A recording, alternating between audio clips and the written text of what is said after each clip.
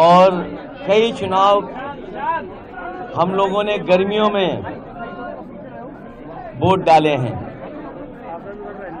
BJP वालों को इस बात की भी सजा मिलनी चाहिए। हालाँकि वो कहेंगे कि इलेक्शन कमीशन का फैसला है। लेकिन बीजेपी वाले जानबूझ करके गर्मी में वोट डाल डलवाते हैं। आपको तकलीफ़ पहुँचाने के लिए। हम लोग तो मेहनत करते हैं। हाँ। इनको जाना है अपने बूथों को राउंड करने।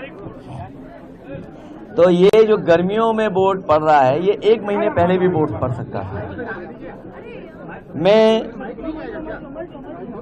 सभी अपने साथियों से और सभी मतदाताओं मतदाताओं से अपील करता हूँ आज के दिन, जब तीसरे चरण का वोट पड़ रहा है, ज़्यादा से ज़्यादा वोट पड़े।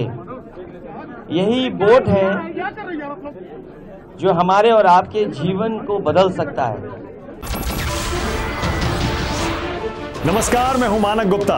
अगर आपको हमारा ये वीडियो पसंद आया हो तो इसे लाइक और शेयर ज़रूर करें। और हाँ, हमें सब्सक्राइब और फॉलो करना ना भूलें, ताकि आप देश और दुनिया की कोई खबर मिस ना करें। तो जुड़े रहिए हमारे साथ और देखते रहिए न्यूज़ ट्वेंटी